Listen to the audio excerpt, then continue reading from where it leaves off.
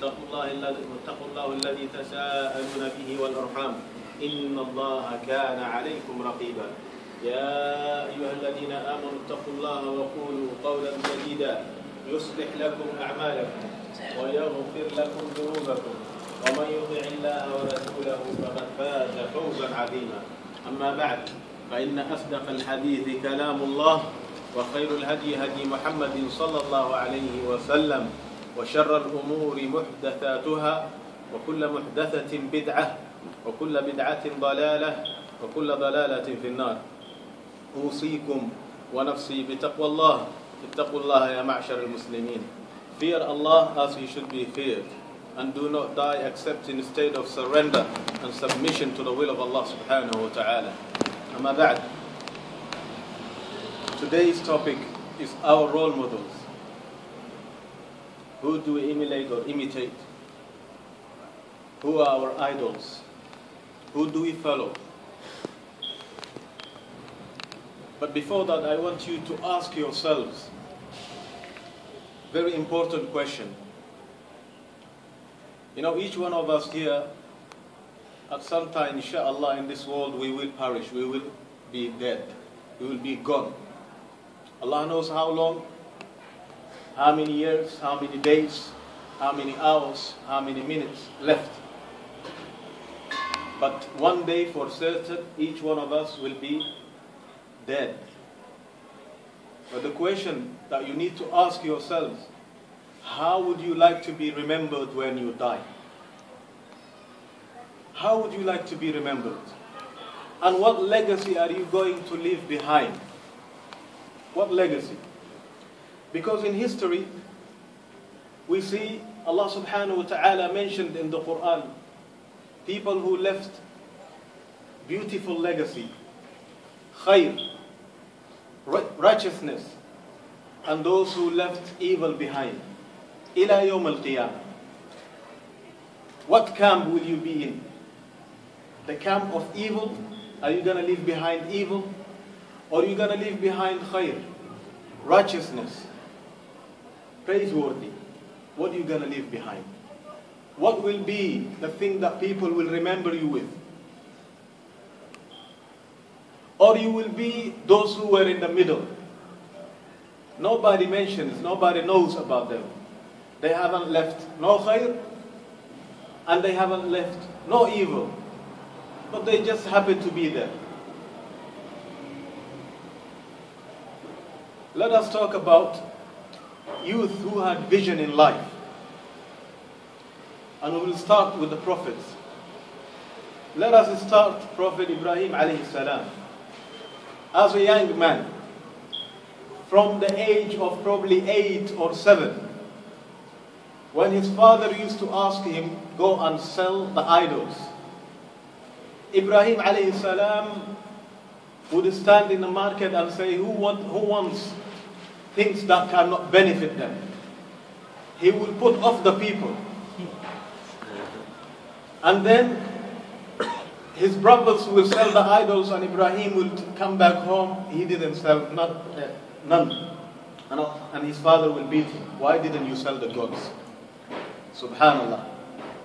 Ibrahim, as a young boy, sacrificed his body.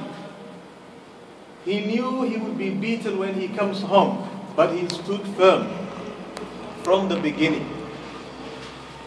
And when he grew up to the age of teenager, we know the story of Ibrahim alayhi salam when he told his people, قال إني سقيم I am not well so that he would stay behind and destroy their idols to make the point again yet Ibrahim knew his people will find out and the consequence of touching the idols was death and we know how Allah subhanahu wa ta'ala protected Ibrahim in the fire.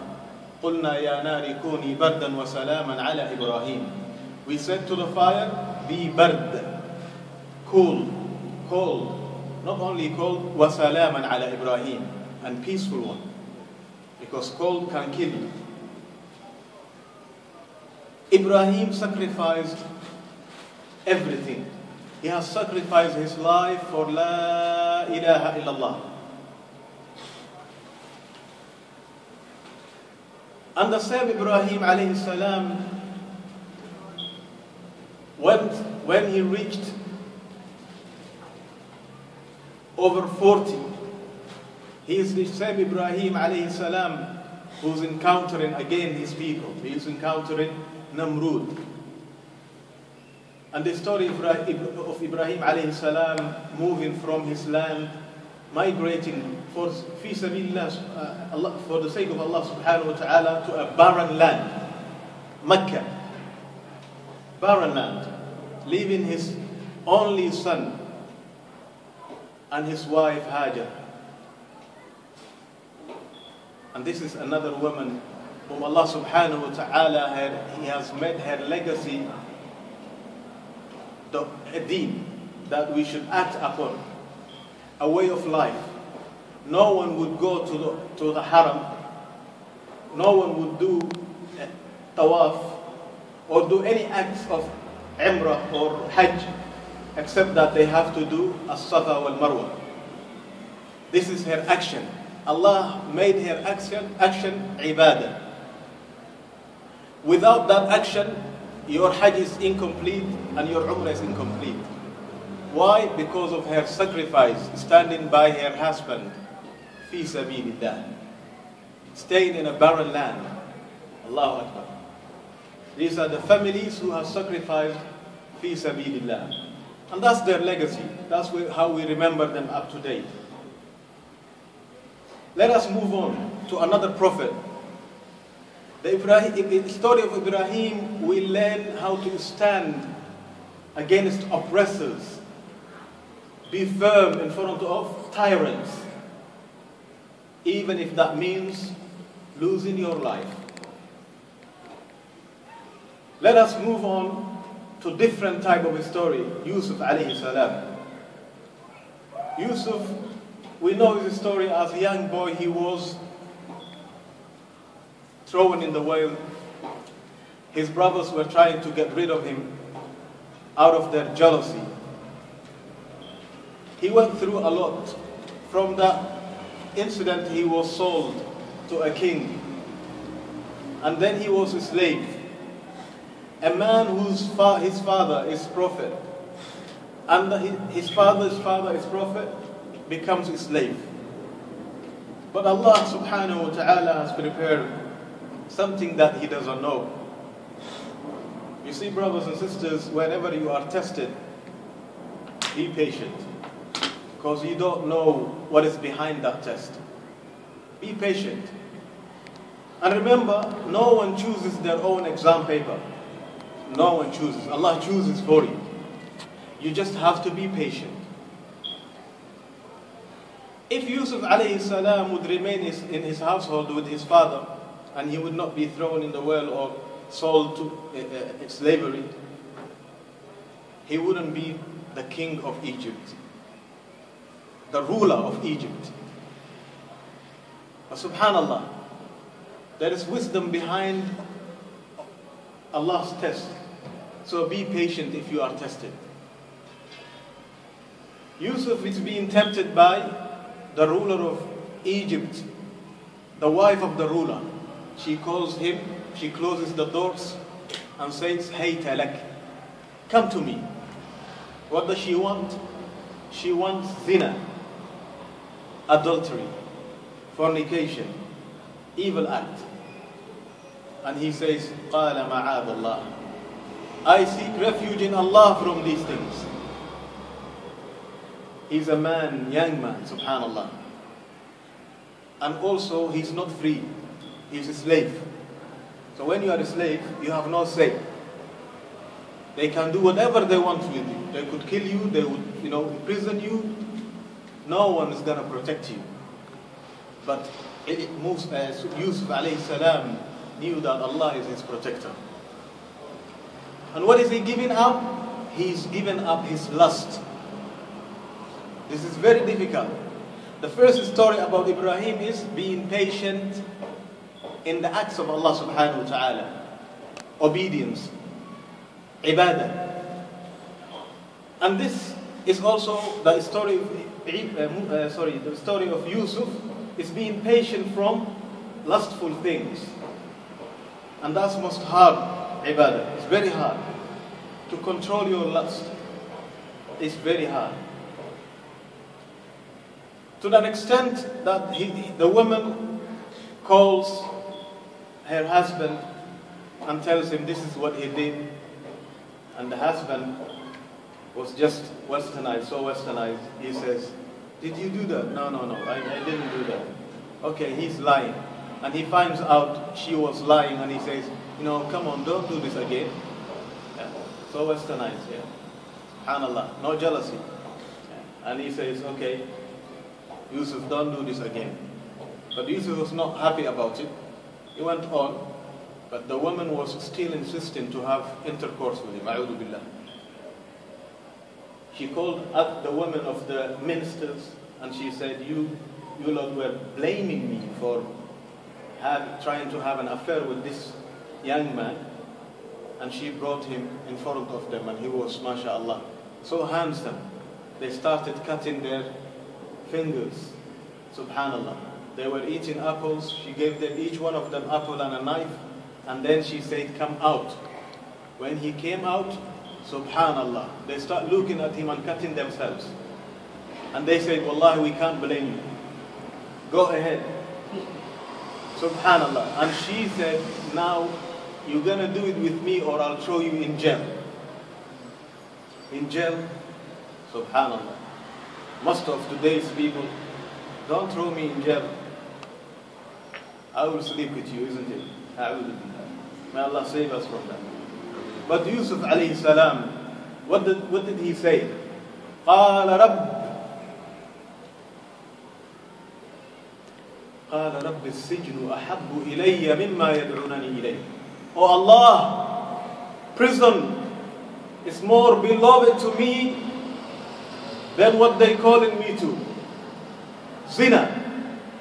I don't want to commit zina. i rather be in jail. Subhanallah. That's the difference. Being patient. If you are tested with women and lustful things, look at the story of Yusuf alayhi salam. You have no excuse. If you are tested with tyrants, look at the story of Ibrahim alayhi salam. Let us move on to the story of the boy and the king that we hear a lot. The boy and the king. That young man who has learned the deen of Allah subhanahu wa ta'ala and he started teaching the people, calling the people to La ilaha illallah. And the king hears about him. And he calls him and says, What are you doing? Is this the magic that you learned? No, it's not magic. This is Tawheed. La ilaha illallah. La ilaha illallah. Is there any other deity beside me? He, people used to worship him. He calls himself God. Deity that should be worshipped. And the boy says, Not you, the one who created you. And he started punishing the boy, torturing him until he sends, when they could not get rid of him in front of uh, the king, he calls his guards and say, take this boy and throw him over the mountain, throw him. And they take him to throw the boy from the mountain.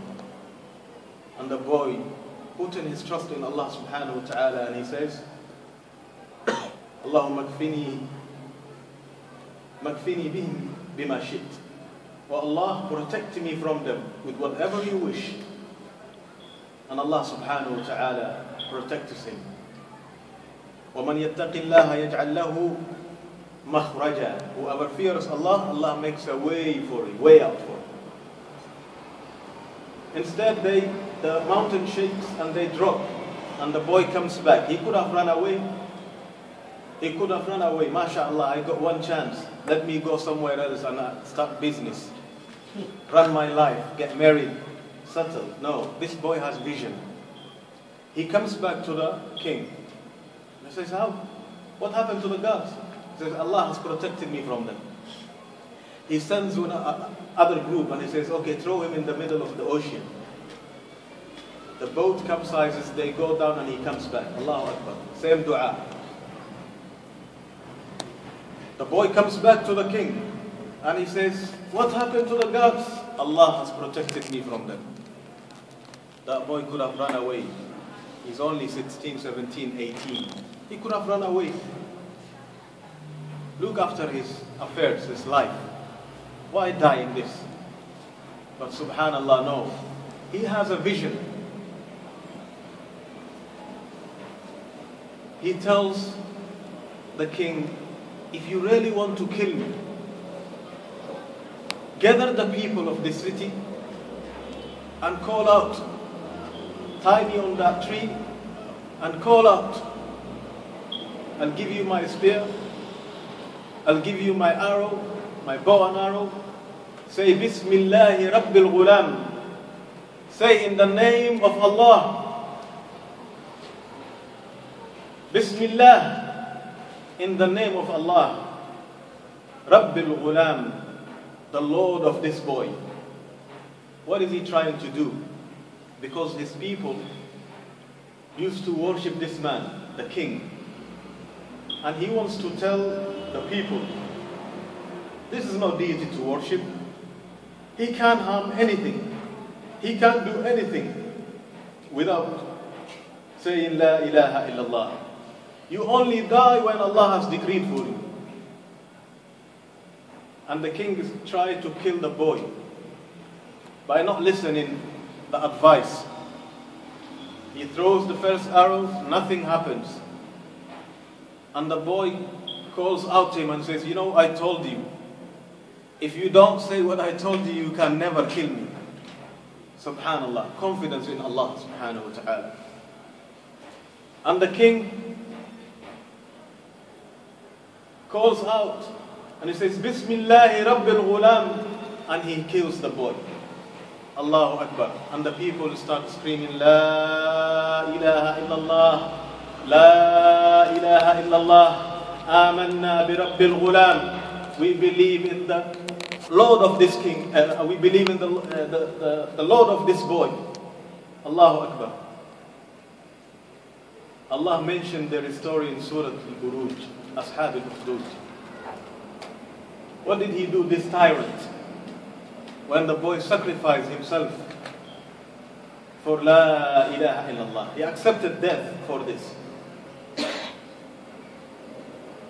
He gathered the people and he said, if you don't go back from your belief, I will burn you, I'll burn you to death. Like what we see nowadays in Burma. Burma. The Muslims in Burma are being burned to death. Beaten and burned to death, wallahi, by the Buddhists. Peaceful people, they call themselves peace, the Buddhists. No longer peaceful now, they're killing. He gathers his people one by one and he throws, throws them in the fire until he reaches to a woman, subhanallah. A woman, sisters, listen up. A woman, wallah. She throws her children one after another until she's remained with one in her forearm. She's carrying the little one. She's holding. Now she is hesitant. She fears. I can't throw my little one.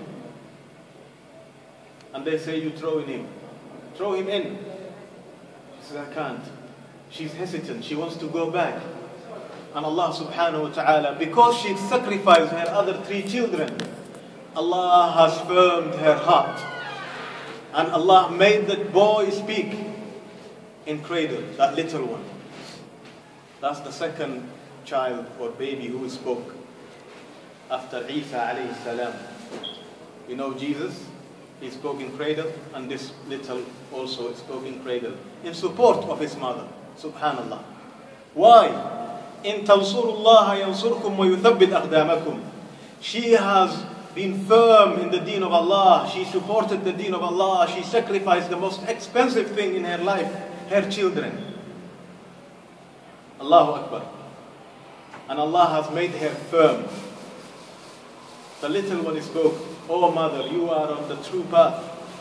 Throw me. We'll meet in Jannah. And that's what he says. She throws him in. And she was thrown after him. All of them killed, burned to death because of La ilaha illallah. What happened to us, me and you? What have we suffered for this deen? Tell me. Little worry, we are ready to give up our deen. Little worry, little fear. Subhanallah. These people were burned alive, subhanallah. And they were steadfast in their deen. They didn't change. وَمَا بَدَّلُوا تَبْدِيلًا They did not change. رجال صدقوا ما عاهدوا الله عليه رجال amongst the believers male and female who stood firm fulfilling the covenant with Allah subhanahu wa ta'ala they did not change Ashab al-Ukhdud maybe in today's people we will look at them and say, Subhanallah, look at these people. They lost their lives, isn't it? They're, they lost their lives. What's the point? They could have said something, you know, to make this tyrant leave them. Just say, utter the kufr, and they could live their lives. But these people understood. Whether you accept death now or tomorrow, death is gonna come. What is the best way then? The best way is when you sacrifice it for Allah subhanahu wa ta'ala. So they realized remaining in this dunya with humility and oppression and accepting tyrant abusing you, you better be dead. Subhanallah. Allah called their action, what did He call? ذَلِكَ الْفَوْزُ الْكَبِيرُ That's the greatest success. Imagine success. For us, they perished. You know? They didn't care of their lives. Subhanallah.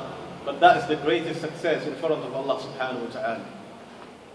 Now these people we are mentioning today, Allah is telling us they are your food, they are your role models. Otherwise, why would Allah subhanahu wa ta'ala tell you about their stories? Tell me. That young man, if you are a young man, you have no excuse. Be firm in your deen. If you are a woman, don't say, you know what, I'm a woman. By the way, the first woman, the first martyr in Islam, we're talking about at the era of Rasulullah sallallahu wasallam, but there are many Muslim women who sacrificed, like the one we talked about now. Like the Asiya, Asiya, the wife of Fir'aun. She was patient she was tortured to death. She did not change her deen. The first Muslimah who was killed, it was in Mecca by Abu Jahl, alayhi la'inullah. May Allah curse him and the likes of him. She was killed being firm in La ilaha illallah, Sumayyah first woman. That family offered their life, everything they got. The father died, he was tortured to death. The mother, Sumaya, was tortured to death, and their son, Ammar. And Rasulullah would pass by them and say, Sabran ya ala Yasir, fa inna maw'idukum al-jannah. Be patient, the family of Yasir. Your promise is Jannah. You will meet one another in Jannah. Rasulullah sallallahu he did not offer dunya. He never promised dunya, this world. So is Allah subhanahu wa ta'ala. Allah never promised dunya because dunya is dani, something low. Allah has written the rizq for the mu'min and the kafir in this dunya. But Allah promises Jannah. Dunya, your share, you will get it, don't worry. Muslim and a kafir, everybody will get their share until they die, until they are dead. Subhanallah. So don't worry about dunya. Worry about your akhirah. Worry about your akhirah.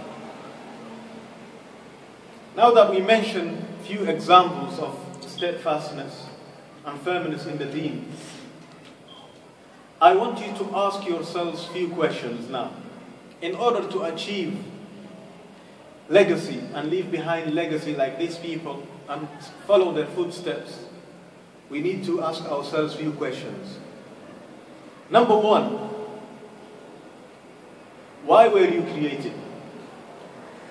What is, your, what is the purpose of your life? Why are you here in this world?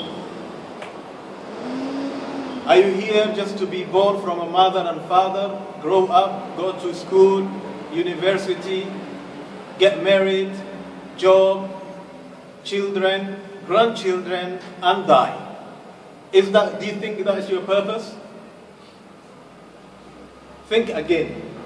Because Allah subhanahu wa ta'ala says, وَمَا خَلَقْتُ الْجِنَّ وَالْإِنسَ إِلَّا لِيَعْبُدُونَ I did not create jinn and man except for my worship, for my obedience.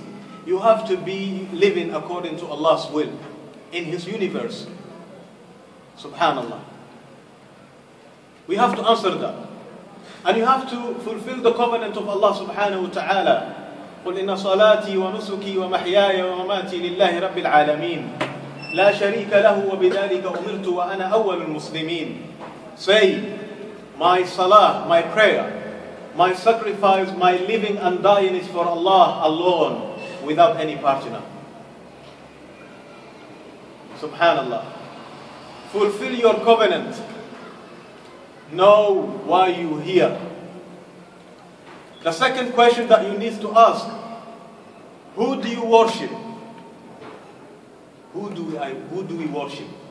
Allah, of course, all of us will say we worship Allah subhanahu wa ta'ala. But double check.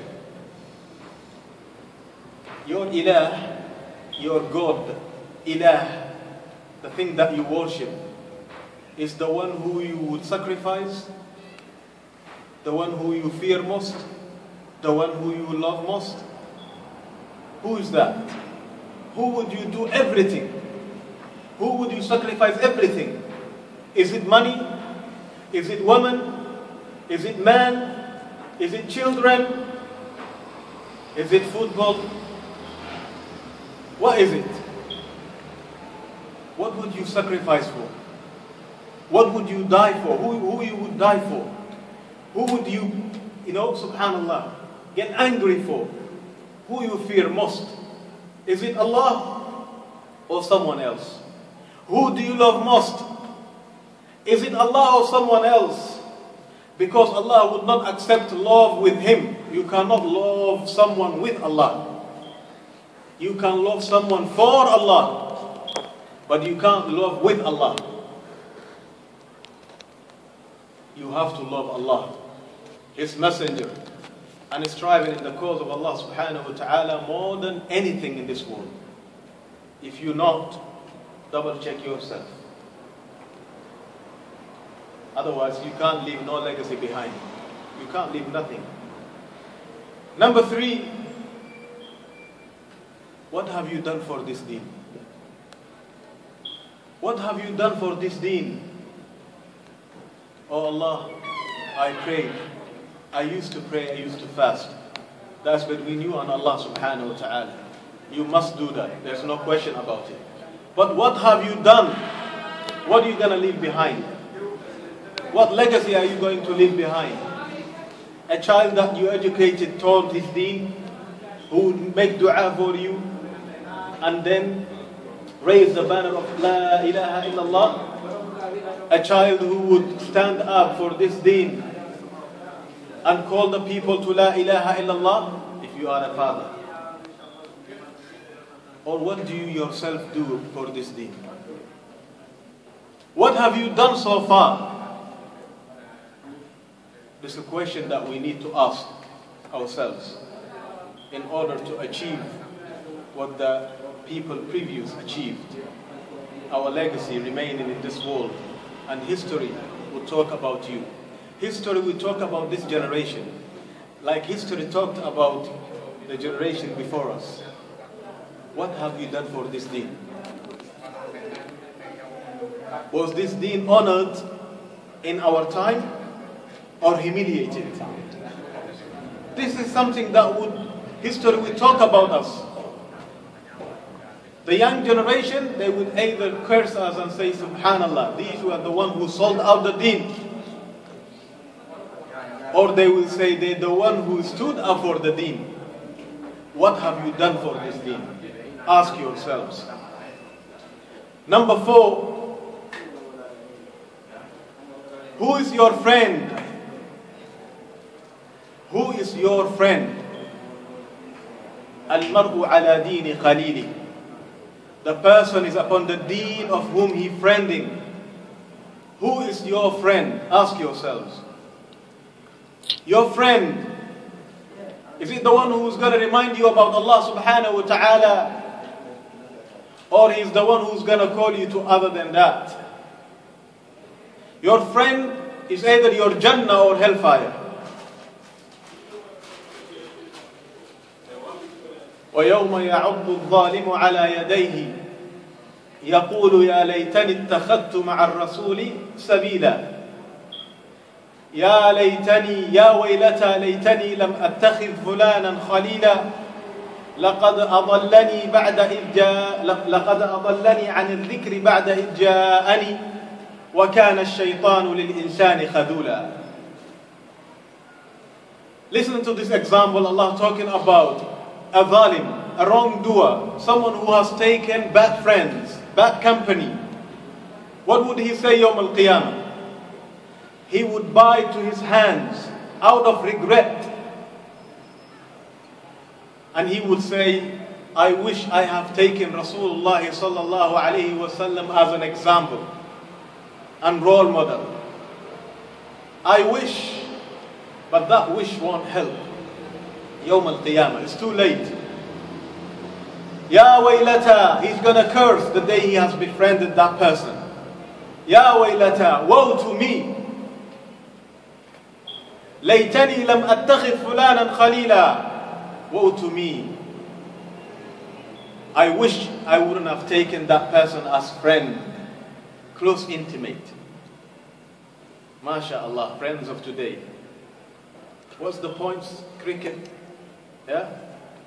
Goals, mashallah. We send in texts non-stop or Facebook. We won the game. We, who are you? You represent them, subhanallah. We, you hear this word a lot. Oh, we beat you. We won the game. What is that going to do for you? Leave that does not benefit you, wallahi al-azim. Azud, abstaining from good things. We're talking about from good things. Not indulging too much in good things. Zuhd. They say that zuhd is the leaving the thing that would not benefit you for your qiyamah. Tell me, what does football benefit you? Does it help you in your grade? Cricket. And loving their people. That's what I said before. Who's your God? Who do you really worship? Or some people, they will tell you, I can't leave this, man. Uh, yeah, this, that's your God. Anything that you, you can't leave, subhanAllah, you have to watch. If you can't watch, what is going to happen? You're going to die? No, I have to watch the game. I have to. Leave that does not concern you. Leave that would not benefit you in your grave in Yom Al-Qiyamah. And don't be that person who would regret and say, I wish I would have taken Rasulullah as an example, sallallahu alayhi wasallam. And you would curse shaitan that day. But you are his follower. You are with him. He will give you that khutbah, the final khutbah, ceremony. All of you in hellfire. Subhanallah. Who's your friend? Will your friend remind you about Allah? Imagine death comes to one of us while sitting with their friends. What do you think? These friends, can they remind, remind you about Allah? Can they tell you, please, brother, say La ilaha illallah? Would they remind you? Or they will keep saying, what? What happened to the man? What? Uh, nonsense talking. And billah, some of them even cursing, F word and all this. Because they're used to these things. Automatically it happens, comes. Subhanallah, who's your friend? Number five, are you proud with your identity? As a Muslim, are you, are you proud to be a Muslim? Subhanallah. Many people are not. They don't want people associating them with Islam. Some of them even change their names. Call me Mo. It's not Muhammad anymore. Mo. Rashid. Call me Richard. Rashid. I don't want to be called Rashid. A'udhu billah. People are running away from their identity, from their Islam. Listen to the story of those who were proud of their identity. The story of Rabi'i ibn Amir, radiallahu ta'ala. He went to negotiate with the Persian leader, Rostam. Rostam, he was so proud man and arrogant. And he said, What brought you to us, O Arabs? You shepherds, why are you here? What do you want? If you want life, we'll give you a few golds. Go back. But these people were not those Arabs anymore. They were worshipping Allah subhanahu wa ta'ala. They were not worshipping other than Allah subhanahu wa ta'ala. They were not worshipping money or wealth or children or gold, material. No. They were worshipping Allah. And they had vision and they were proud of their Islam. What did he say? How did he reply to that? He said,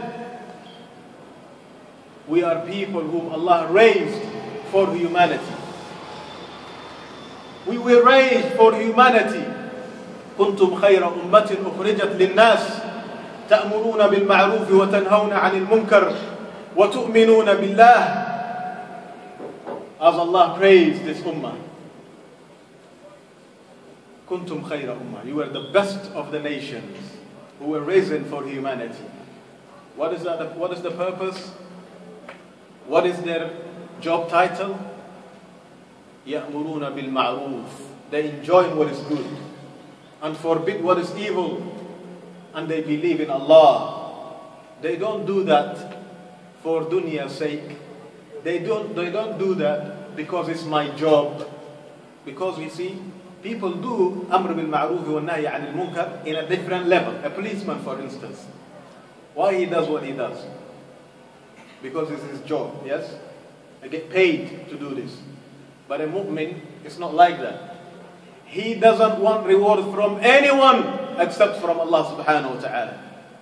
So Rabi'i ibn Amir, he stands firm and he tells that tyrant, we were raised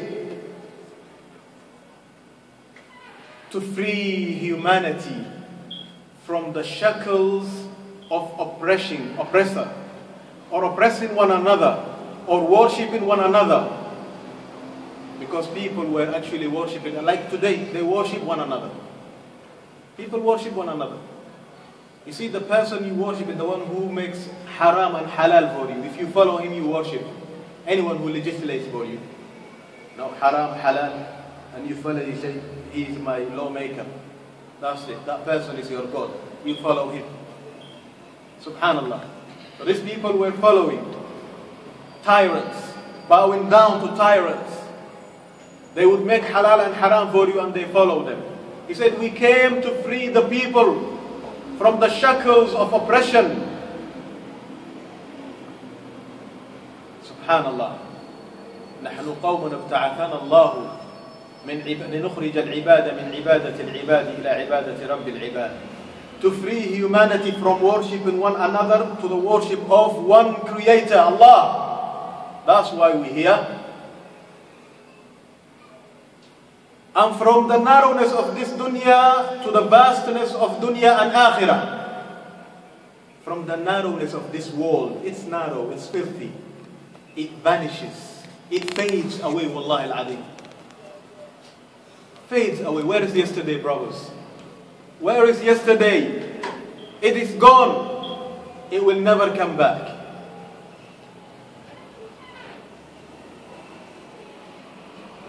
So,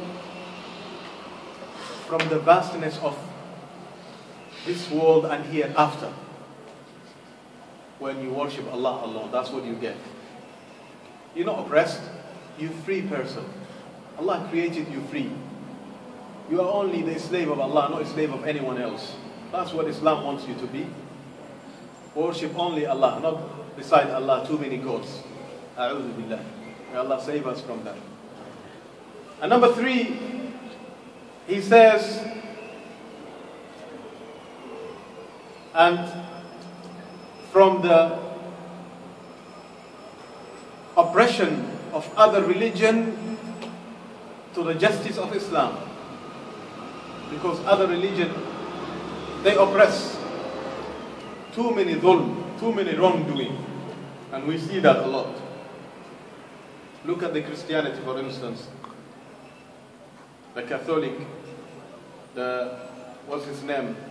The Pope, just sitting that throne, collecting gold. Too many gold. And they told last time when he was anointed or appointed, he talked about poverty in the world. And he's got that crown of gold. Poverty.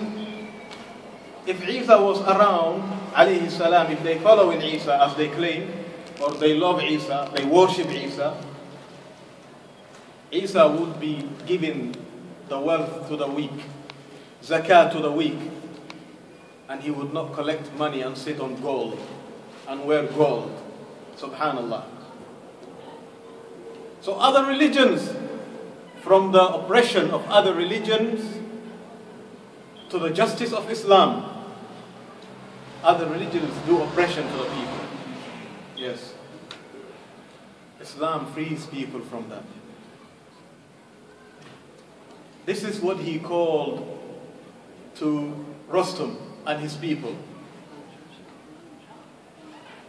And the last point, number six. Are you happy your relationship with Allah? Are you happy? Do you have good relationship with Allah subhanahu wa ta'ala? What do you think? If you were to weigh your good deeds and bad deeds, which one of them will be outweighing the other, do you think? The good or the bad? From today, just now, think about it.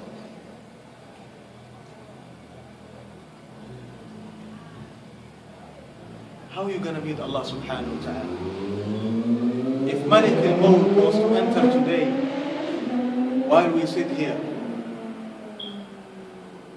and take one of us, are we ready to meet Allah subhanahu wa ta'ala? This moment, are you ready? Are you ready to go?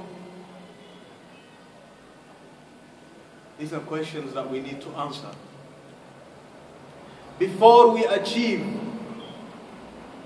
before we leave any legacy behind, because you cannot let, leave any legacy behind, and people will not remember you in any good way without answering these six questions to yourself. Answer these six questions and know Allah subhanahu wa ta'ala.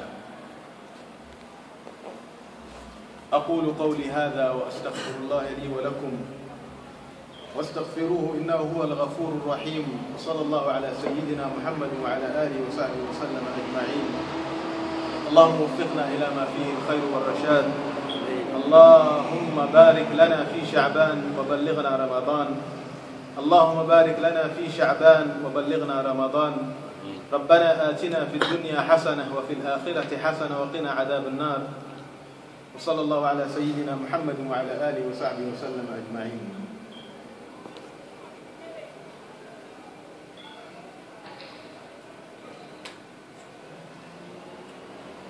Um,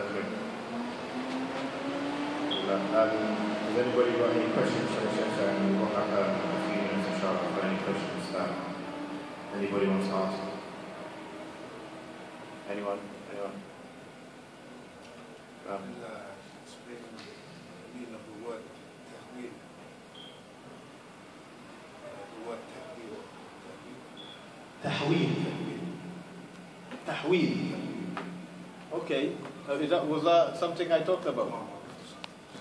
تحويل تحويلة you find that in the Quran yeah Someone said that teacher said that someone تحويل is sending something or حوالة yeah moving something from place to another yeah Yeah?